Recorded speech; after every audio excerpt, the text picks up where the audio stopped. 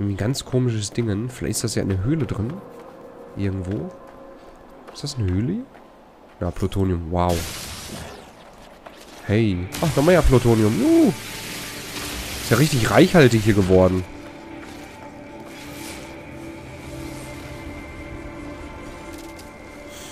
Hm.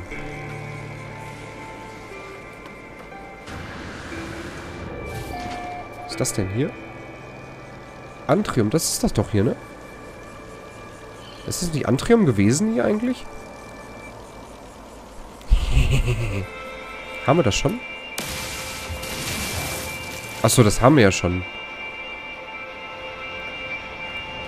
Aber ich bin mir... Ich, ich meine, das war das doch gar nicht, was wir gescannt hatten. Ich muss es nochmal gucken.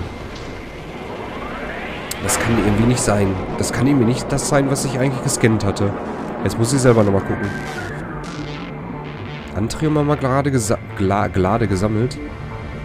Ähm, muss mal ein Stück rausfliegen.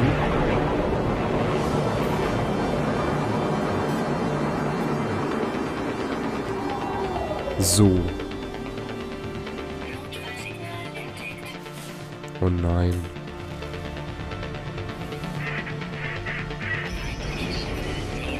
Ja, schön, dass sie sich nähern.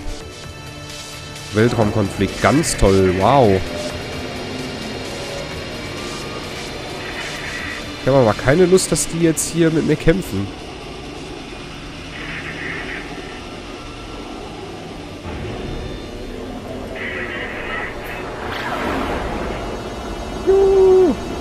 So, ciao. So, ich muss mal gucken, eben wegen dem Planeten nochmal.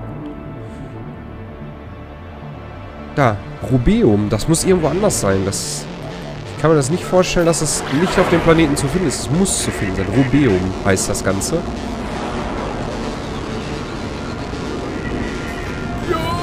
Fliegen mal ein bisschen woanders hin da auf dem. Rubeum. Schauen wir mal. Man weiß ja auch nicht, wie das aussieht. Das ist das ja immer. Spinner leuchtet. So.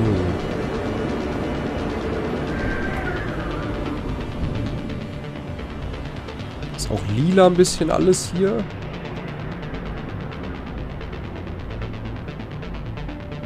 Wie gesagt, die große Frage ist natürlich, wie sieht dieses Rubeum aus? Ich lande hier mal. Landesequenz wird eingeleitet und wir schauen mal, ob wir Rubeum finden. Komm, wir gucken mal. Ist es das hier vielleicht? Der rote Klotz, den ich vorhin vielleicht nicht angeguckt hatte? Ne, ist Iridium. Aber da unten ist doch irgendwas... Ne, das ist es nicht. Nee. Wie sieht denn Rubeum... Ach, das Kohlenstoff, okay. Wie sieht denn Rubeum aus, bitte, auf diesem Planeten?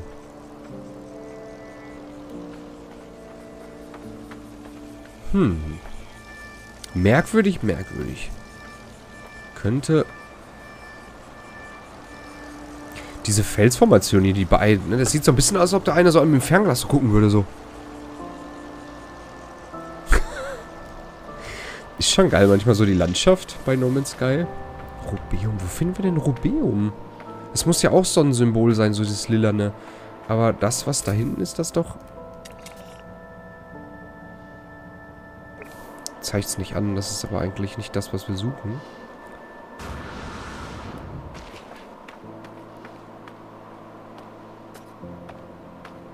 Habe ich sogar zwei Wünsche erfüllt für die Zuschauer auf YouTube.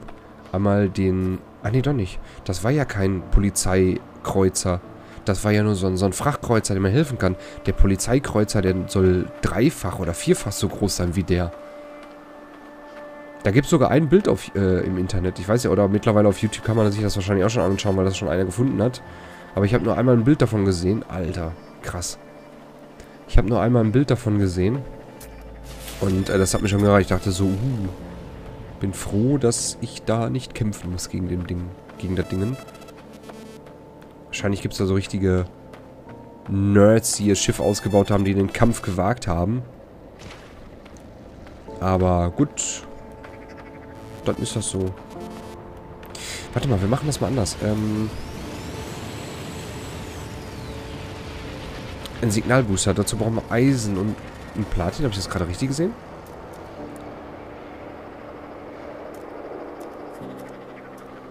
Ja, wir brauchen Eisen und Platin. Ah, toll, super. Platin werde ich bestimmt hier nicht finden, oder? Doch, da. Eisen findet sich schnell, nur Platin nicht. Weil dann können wir nämlich mal gucken, ob wir vielleicht irgendwo so Tanks finden. So ressourcenmäßig. Hm, ja, wir brauchen noch mehr Dings. Da ist Eisen. Nehmen wir schon mal mit. Was haben wir. So. Weil dann baue ich nämlich so einen Signalbooster und hole mir mal eben ein Signal ran womit wir vielleicht äh, so Container finden, wo vielleicht das Zeug drin ist. So, Tamium. Ich brauche noch ein bisschen Platin. Platin.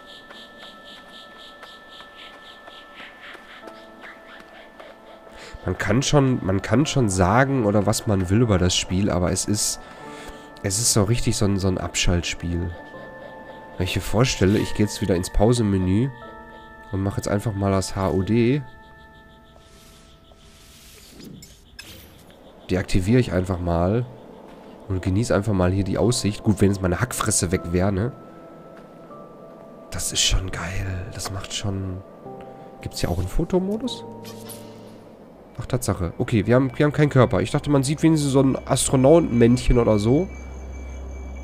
Aber gut. Aber das ist schon cool. Wenn man hier so lang läuft, ne?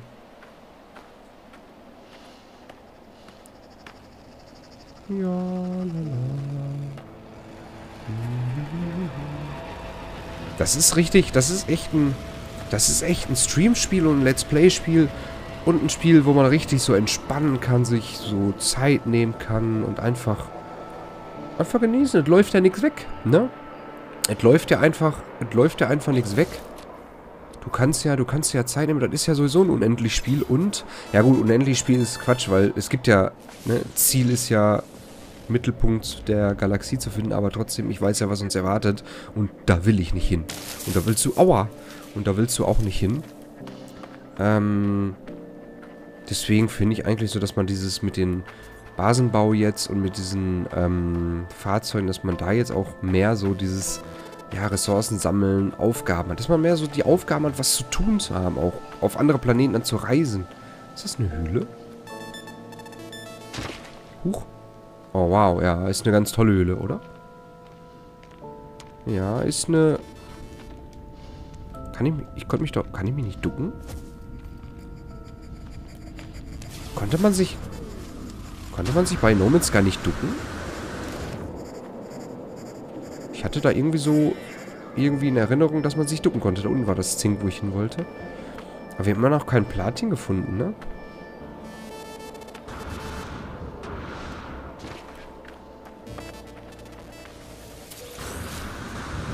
So.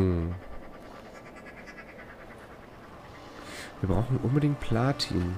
Damit ich einen Signalbooster bauen kann. Ist das Platin? Weil das blau ist. Was ist das? Chrysonit. Achso, ein fortgeschrittener Minenlaser. Ja, das ist super. Da ist Platin. Ich komme!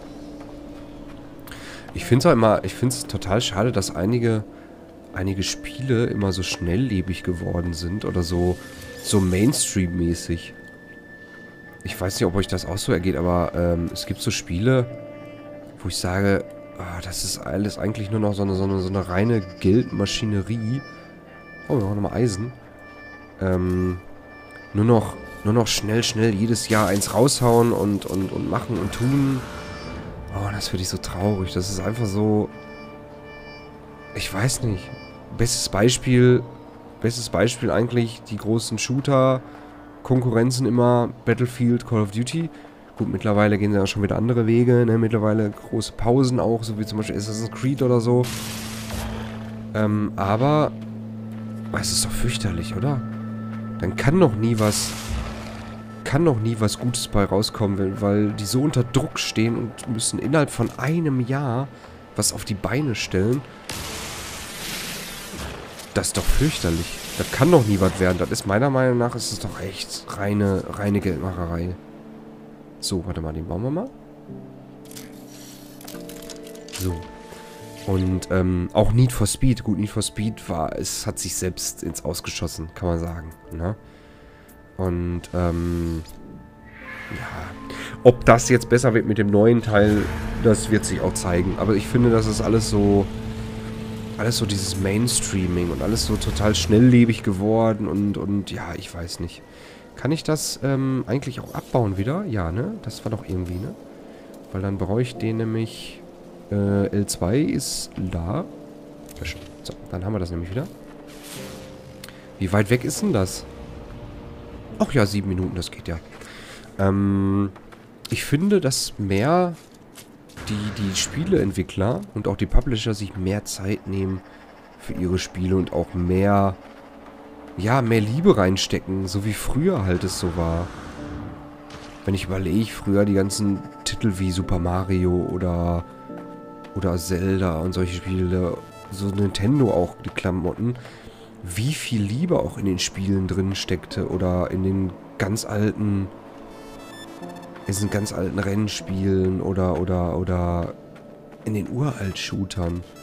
Wenn ich überlege, das alte Call of Duty damals vom PC, der zweite Teil, Call of Duty, was im Zweiten Weltkrieg spielte, komme ich gleich drauf, auf das neue auch, ähm, wie viel Spaß das gemacht hat. Das hat, das hat ja mehr von mehr vom Multiplayer gelebt als wie von der Story. Und es war einfach nur plumpes Karabiner, Maschinengewehr, fertig. Und es steckte so viele Details. Es steckten eigentlich noch nicht mal so viele Details auch in den Karten. Entschuldigung. noch niemals in den Karten. Ich muss mal husten. Warte mal. Es steckt nochmal nur so viele Details in den Karten, aber sie waren so ausgereift, dass sie so viel Spaß machen, auch nach dem hundertsten Mal spielen, dass sie einfach so genial waren. Und du hast dich immer wieder dran gesetzt, hast sie mit Kumpels getroffen, in Teamspeak und alles und tralala und hast dann einfach Gummi gegeben. Und es hat so viel Spaß gemacht am Wochenende und auf LAN-Partys. Das war so... Huch, hat er nicht gesehen. Hat er nicht gesehen. Das war so geil. Ja, und jetzt scheint es ja so zu kommen, dass angeblich Call of Duty, nachdem Battlefield es ja vorgemacht hat, ähm, zurückzurudern. Zumindest Battlefield hat ja nicht zurückgerudert, Battlefield hat einfach nur einen neuen Weg eingeschlagen. Was viele ja auch nicht sehen. Viele sagen, ja, Battlefield zurückgerudert, hat jetzt, macht jetzt Ersten Weltkrieg, so wie es früher war. Stimmt ja gar nicht. Battlefield hat einfach nur eine neue Schiene eingelegt. Äh, Battlefield war noch nie erster... Hä, was ist das denn? Battlefield war noch nie äh, Erster Weltkrieg. Ist einfach eine neue Richtung. Und Call of Duty will jetzt quasi wieder zu den Urwurzeln. Jetzt bin ich ja mal sehr gespannt. Ich bin ein großer Fan von, von dem alten Call of Duty. Und, ähm... Oh, Taschenlampe. Hier macht die Taschenlampe aber jetzt ein bisschen was her, muss ich sagen. Ähm, ich bin ein sehr großer Fan von Call of Duty 2 gewesen. Ich habe das so gesuchtet. Und ich lasse mich da echt überraschen, wenn das wirklich stimmen sollte mit Call of Duty Zweiter Weltkrieg, also World War II, dann lasse ich mich da echt überraschen, ob die das nicht wirklich so... Bitte, liebes... Bitte Activision und wer auch immer da jetzt am Werkeln ist, bitte verwurstet das nicht so. Verwurstet das nicht so auf Mainstream, sondern geht wirklich komplett back to the roots. Und lasst euch Zeit damit. Das wäre so ein Traum. So, Alter, wie geil das hier aussieht. Und wir müssen wahrscheinlich irgendwie da drüber... Oh Gott. Ich laufe natürlich wieder vollkommen falsch. Weil ich hier gerade nicht sehe. Ach, ich dachte, hier war Wasser.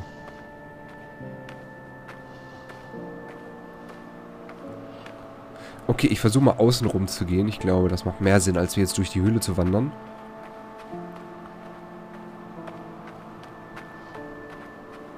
Warte mal eben, ich mach mal eben, äh, warte. Ähm, ja, möchte ich. Geil, dass das Spiel immer fragt. Ähm, Moment. Ich habe es nämlich gerade schon im Augenwinkel gesehen. Können wir mal eben auffüllen. Nee, aber das finde ich ein bisschen, das finde ich mal so ein bisschen schade, auch so generell, dass so, weil du kommst ja als Spieler, hast du ja gar nicht mehr, das Thema hatte ich glaube ich schon mal aufgegriffen, als Spieler hast du ja gar nicht mehr so großartig die Möglichkeit, ähm, vernünftig dich auf ein Spiel zu konzentrieren. Weil du willst ja... Du willst ja immer, auch so im Freundeskreis, immer so mitreden können und immer so mit dabei sein. Weißt du, immer so die neuesten... Immer so die neuesten Games. Boah, ich brauche immer die neuesten Games. Ich muss mitreden können und mitreden können, weil... Weil dann irgendwann, ich sag mal... Keine Ahnung, dann, dann, dann ist dann irgendwann... Ach Mist, jetzt sehe ich ja auch den Weg nicht mehr, wo ich hin muss. Ich bin so schlau. Ähm, weil dann ist das Spiel irgendwie, keine Ahnung, dann ist es auf einmal ein halbes Jahr. Na. Äh, dann ist das Spiel irgendwann fast ein halbes Jahr, ein Jahr alt und dann spielt es kaum noch einer oder beziehungsweise dann kommen schon wieder die neuen Spiele, weil die ja so schnell rauskommen und dann, dann, dann äh, äh bist du nicht up to date, weißt du? Das ist so, das finde ich schade, dass das so ist. Es gibt halt, ja, wie soll ich sagen? Ich finde dieses, dieses, dieses ja, immer aktuell, aktuell, aktuell, aktuell zu sein, das ist immer irgendwie schade. Niemand nimmt sich mehr so richtig Zeit so für die Spiele, finde ich auch ein bisschen schade. Ne? Also ich bin froh, dass ich zum Beispiel Horizon Zero Dawn mir echt so privat gebe und widme. Also nichts gegen Stream, nichts gegen YouTube, Gottes Willen, nur dass erstens, wie gesagt, ich habe ja gesagt, dass es zu groß ist auch. Und, aber es ist so ein Genuss, das zu spielen, auch privat. Und, ähm, ja, einfach... Einfach die Schuld der Spieleentwickler. Es ist einfach so eiskalt, so schnell Spiele eins nach dem anderen rauszuhauen. Ich glaube, ich sollte mich mal eben eingraben, damit ich hier den Sturm überlebe.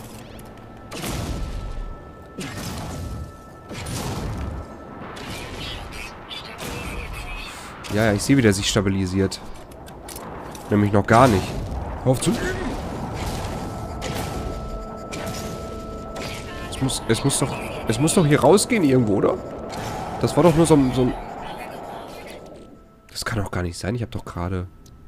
Warte mal, wo ist denn hier... Da, Plasmawerfer. Haben wir doch noch dabei. Erzähl doch nicht. Ach, man kann ja durch Schnellauswahlmenü jetzt ähm, auch... Ah, hier ist der Ausgang. Durch Schnellauswahlmenü kann man aufladen. Wollte ich mir sagen lassen. Aber das war doch gerade eine Klippe, oder nicht? War das nicht gerade noch eine Klippe gewesen? Ah, da geht's runter, glaube ich. So, wir warten mal so ein bisschen im Sturm ab. Das sind nämlich noch knapp drei Minuten, glaube ich, ne? Bis dahin, ja. Ja. Ähm, nein, aber ich gebe aber auch momentan so ein bisschen die Schuld den Spieleentwicklern und den Publishern, dass sie einfach, wie gesagt, dieses ja, dieses, dieses, weißt du, dieses raushauen, rauspreschen und wir müssen, müssen, müssen machen und tralala. Und das ist nicht gut. Das ist überhaupt nicht gut. Und wie ich es auch schon sagte, Alter, 120 Grad Celsius. Olla, die Waldfee. Und wir beschweren uns schon, wenn wir mal 30 Grad haben im Schatten. Ähm, was wollte ich sagen? Achso, und was es auch gibt, das passt auch gerade so zum Kühlt man... Kühlt man sich eigentlich hier nicht ab, wenn man im Wasser ist? Wollte ich doch gerade sagen. Ähm... Was es auch nicht mehr gibt, was auch äh, ähm, so ein bisschen diese Schnelllebigkeit ist, die ja momentan so herrscht, ist, ähm... Es gibt nur noch bei egal bei was das ist, egal ob das bei Spielen ist, ob das, ob das bei Autos ist, ob das bei, keine Ahnung, bei, bei, warte mal. Achso, haben wir schon.